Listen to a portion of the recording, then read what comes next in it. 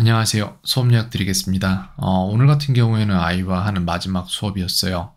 어, 최근에 이제 수업을 요번까지만 딱 하고 그만두게 될 거란 거를 알게 된 이후에는 뭔가를 더 가르치려고 하기보다 이런저런 얘기를 서로 많이 더 하는 쪽으로 진행을 하고 있었고요.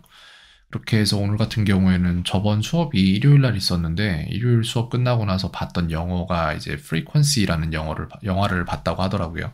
저는 모르는 영화거든요. 그래서 그거를 이제 설명을 쭉 들어봤는데 무슨 일이 일어나는지에 대한 얘기를 한 편에 대한 얘기를 다 들었어요. 되게 재밌는 영화 같더라고요. 그래서 아이가 솔직히 저도 그렇지만 제 나이대에 나온 영화보다 제 부모님 나이대에 나온 영화들 지금 생각해서 보면 진짜 대작들이 되게 많아서 그래서 엄마 아빠한테 영화를 엄마 아빠가 어, 내 나이대쯤에 봤던 영화를 뭐가 재밌을지를 물어보고 아마 그걸 보면 의외로 그런 것들이 지금 영화보다 재밌을 수도 있다라고 얘기를 했는데 아이도 그 얘기를 하더라고요. 1950년대 미국에 대해서 되게 궁금하게 됐다고 그 영화를 보고 나서 그래서 그런 것들에 대해서 관심 갖고 뭔가 영상도 보고 하면은 뭐 그런 것도 괜찮을 것 같아요.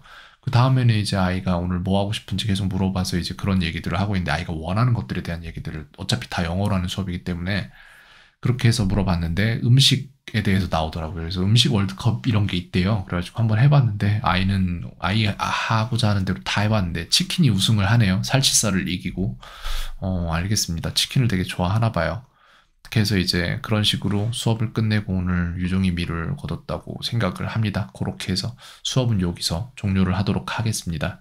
네, 다른 부분은 없습니다. 아이한테 얘기했어요. 뭐 수업이랑 상관없이 내가 가르치고 이런 입장이 아니라 언제라도 뭐 어떠한 뭐 질문할 게 있거나 이런 거 있으면 언제라도 연락 줘도 되고 그냥 가까이 살았으면 솔직히 만나고 그랬을 것도 같아요. 많이 저는 요 근처에 사는 친구들한테 찾아가서 뭐 선물 주기도 하고 그랬었거든요. 심지어는 은평 쪽까지만 해도 뭐 제가 수업을 생일날 케이크 들고 가서 찾아가서 한 적도 있었고 좀 그런 시기였어요. 사실 그래서 되게 수업 때문에 만나는 그런 입장이라기보다는 그냥 이어진 이상 되게 특이한 인연이기도 하고 그래서 그런 것들을 되게 중시해요. 수업이 끝나고 나서도 연락 되게 많이들 하고 네 그렇기 때문에 사이먼도 좀 그랬으면 좋겠습니다. 언제라도 다시 연락 주면은 부담 없이 그냥 같이 얘기하고 그럼 좋을 것 같아요. 네 알겠습니다. 여기까지 요약을 드릴까 합니다. 캔이었습니다. 오늘 하루도 어, 평온하세요.